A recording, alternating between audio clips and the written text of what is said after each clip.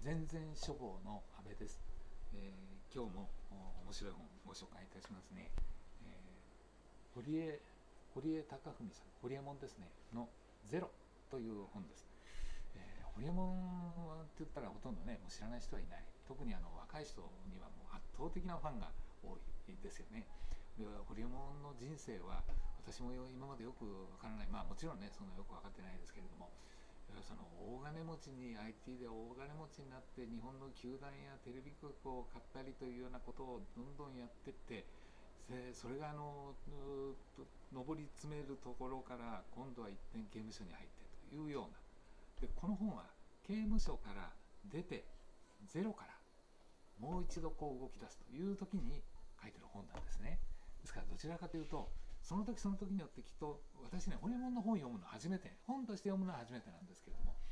その時その時によっていろいろなあれがもちろんねあるんでしょうけれどもやっぱり一度ドーンとそういうことで起きて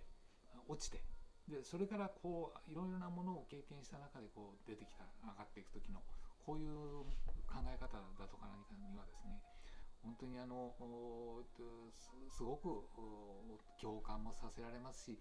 驚きますし面白いなと思います。まあ、自分はねこの人はもう天才なんかじゃないともう引きこもりの出来損ないだっていうようなところで言ってますけれどもいやいろんな随所にね本人は気が付かないけれどもそれだけ集中力があるというのはやっぱり天才なんだろうなと思います。まあ、食べるの寝食忘れて何か例えばそのこういうインターネットなんていうのを知るともうそこに入り込むというそういうところの力っていうのはやはりすごいんだなと思いますね。でそこからいろいろな経験をして何のために働くのか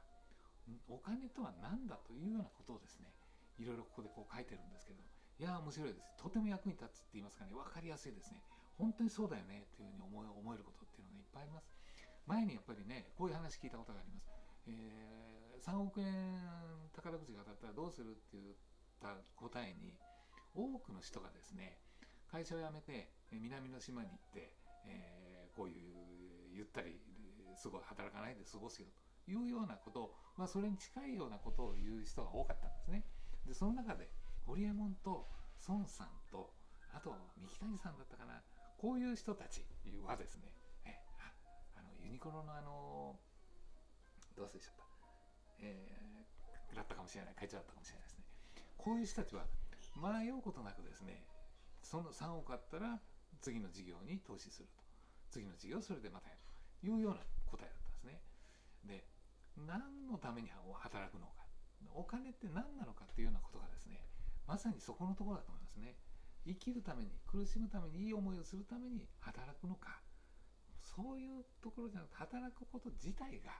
そういう喜びなんだっていうようなことがねすごく分かりやすくこう教えてくれてます。まあこの一冊でですね本当にね楽しめる中身っていうのはいっぱい詰まってます。よかったらぜひ読んでみてくださいっても面白い